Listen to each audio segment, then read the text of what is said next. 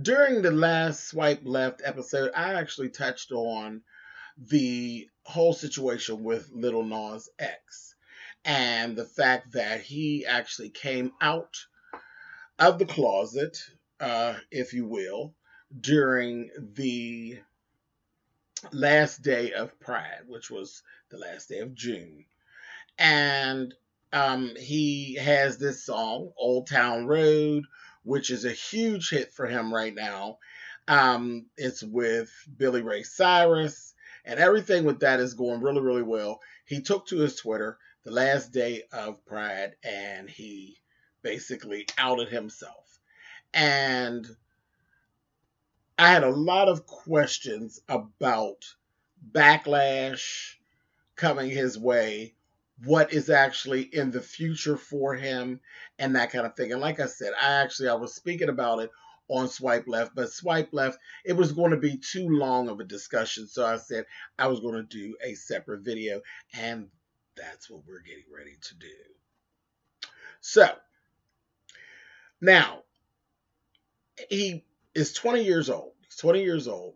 And the question I had, the, the biggest question up front was is it fair now to say that he's going to become this poster child for LGBTQ youth, basically? And me personally, I don't I don't feel like that's fair. You know, um, I think that should be his choice. I think that he he took a step and actually coming out and living his truth, and that's cool. But I think that it should be his choice whether or not he becomes an activist or if he wants to start going to LGBTQ events and all of this. I don't feel as though it is necessary that he has to become the face of LGBTQ rappers. He doesn't have to do that. I mean, I think that it's fair for him to continue learning to be Lil Nas X, period. Now, if he wants to do some activism, great. If he wants to do um, some reaching out to the LGBTQ community and being involved in different functions and everything, then great. But I don't think he should be forced to do anything. That is my personal feeling. Um, this is the other thing that is is going to be strange to me he was doing some interviews, and in the interviews, he was saying this, but the backlash had already begun. People were saying some different little things, and he basically is taken to pretty much just laughing it off and keeping it moving and not really worrying about it too much. And he's been doing really, really good with that. But I want to know now. Now, he just performed at the BET Awards. He performed at the BET Awards, and the reception was huge.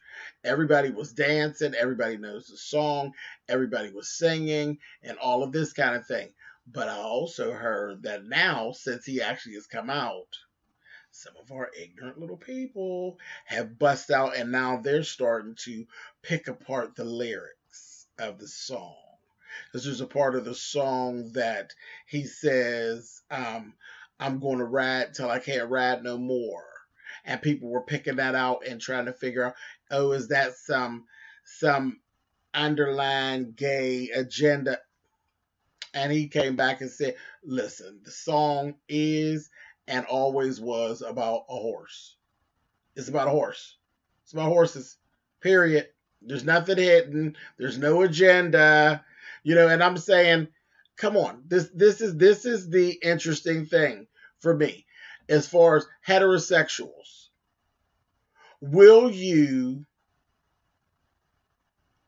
accept him and still like him? Or are you going to begin to, to shun him?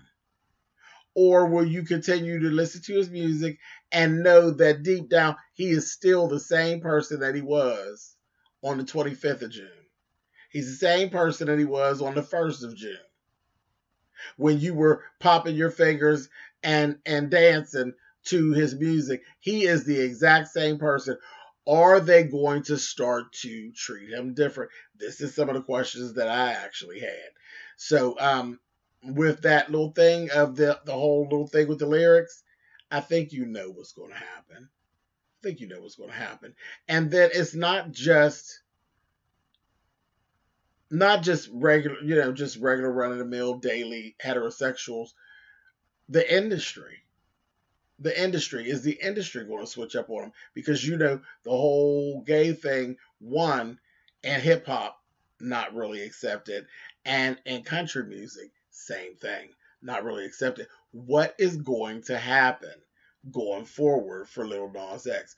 Do you think this is going to be the bridge or do you think that the treatment of Lil Nas X is going to be a little bit shady going forward?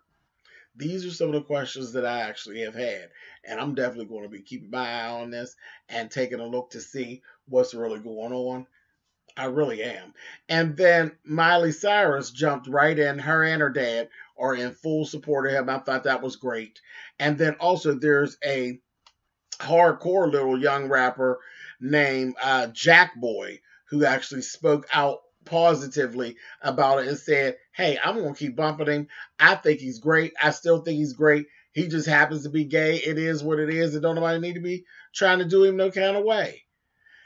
Do you honestly believe that more people will actually take that stance?